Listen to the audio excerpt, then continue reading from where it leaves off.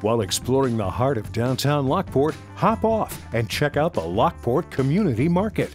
The market is one of many core programs of Lockport Main Street Incorporated, a nonprofit that focuses on community and economic development in Lockport.